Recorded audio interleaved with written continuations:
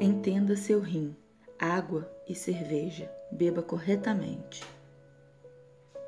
Você vai ao bar ou a uma festa e bebe uma cerveja. Bebe a segunda cerveja, a terceira e assim por diante. O seu estômago manda uma mensagem para o seu cérebro dizendo: Caracas, velho, o cara tá bebendo muito líquido, tô cheião. Seu estômago e seu cérebro não distinguem que tipo de líquido está sendo ingerido. Ele sabe apenas que é líquido.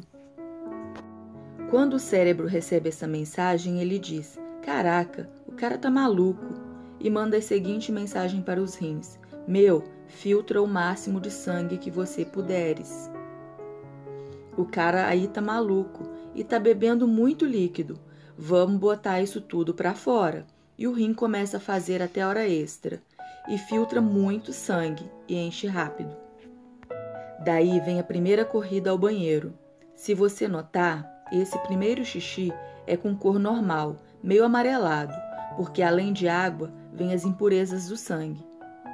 O rim aliviou a vida do estômago, mas você continua bebendo e o estômago manda outra mensagem para o cérebro: Cara, ele não para, socorro!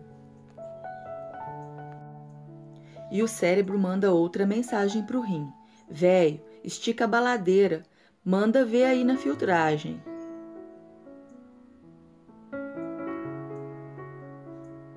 O rim filtra feito um louco. Só que agora, o que ele expulsa não é o álcool. Ele manda para a bexiga apenas água, o líquido precioso do corpo.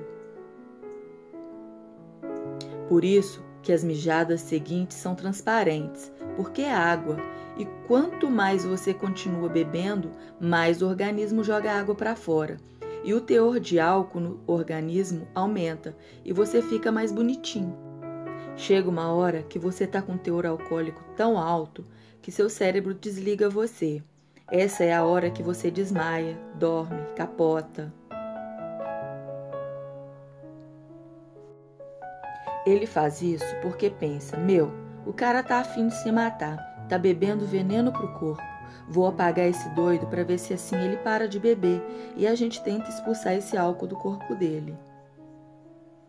Enquanto você está lá apagado, sem dono, o cérebro dá a seguinte ordem para o sangue: Bicho, apaguei o cara, agora a gente tem que tirar esse veneno do corpo dele.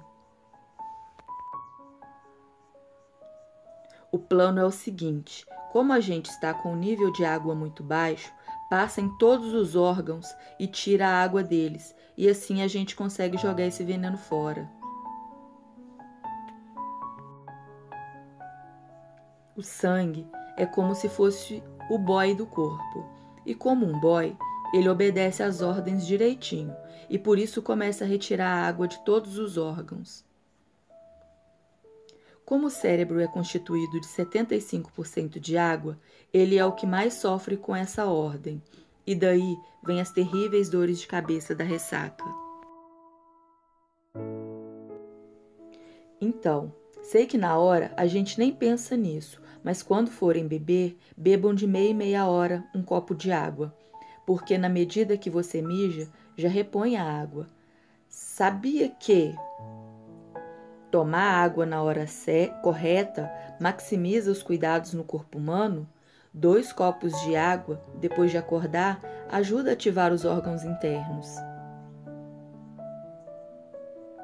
Um copo de água 30 minutos antes de comer ajuda na digestão. Um copo de água antes de tomar banho ajuda a baixar a pressão sanguínea. Um copo de água antes de dormir evita ataques do coração.